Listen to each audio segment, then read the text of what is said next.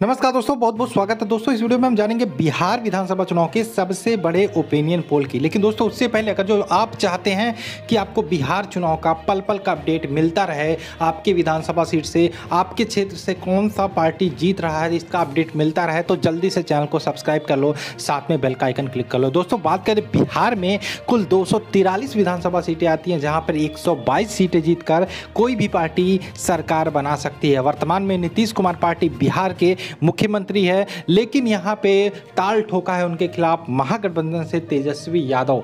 लेकिन यहाँ पे देखने वाली बात होगी, क्या नीतीश कुमार अपनी कुर्सी बचाने में कामयाब हो पाएँगे या फिर महागठबंधन वापसी कर पाएगी? तो ओपिनियन पोल के माध्यम से जानेंगे, लेकिन उससे पहले देख लेते हैं क्या चीज़ें बिहार में चल रही हैं। आपको पता होना चाहिए, बिहार में तीन चरणों, यानी कि अट्ठाईस, तीन अट्ठाईस अक्टूबर, तीन नवंबर और सात नवंबर को मतदान होने हैं, जहाँ पे दस नवंबर को नतीजे आने हैं। वहीं पर बात करें, इस बार जो सबसे बड़ा बदलाव देखने को मिल रहा है। कहा जा रहा था कि बिहार में बीजेपी और जो जेडीयू का गठबंधन है, उसमें जो नीतीश कुमार है, वो बड़े भाई की भूमिका में रहने वाले लेकिन इस, ऐसा पहली बार सियासत में होने जा रहा है। एलजेपी के अलग होने के बाद कि विधानसभा चुनाव में बीजेपी जो जेडीयू है, उससे ज़्यादा सीटों पर चुनाव लड़ने वाली है। इसमें देखने वाली बात होगी।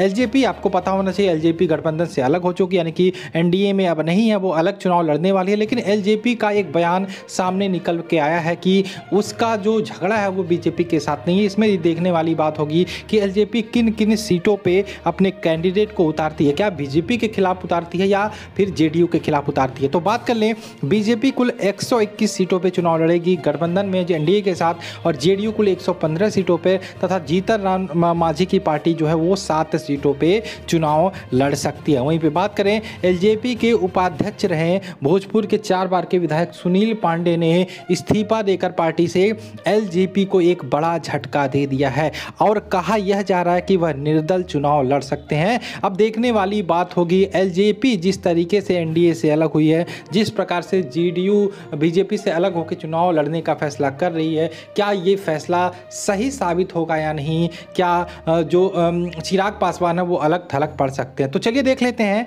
क्या कहता है बिहार का ओपिनियन पोल तथा इस हिसाब से देखा जाए किस पार्टी को कितनी सीटें जाते हुए दिख रही हैं? तो सबसे पहले बात कर लेते हैं एनडीए की। एनडीए मतलब बीजेपी जेडीयू और जो छोटी मोटी पार्टियाँ साथ में चुनाव लड़ रही हैं, उनके खाते में बात करें तो बड़ी खबर है ये, एक सौ अट्ठाईस से एक सौ तीस सीटें जाते हुए दिख रहे हैं। यानी कि बात करें तो नीतीश कुमार बिहार में फिर से वापसी कर सकते हैं।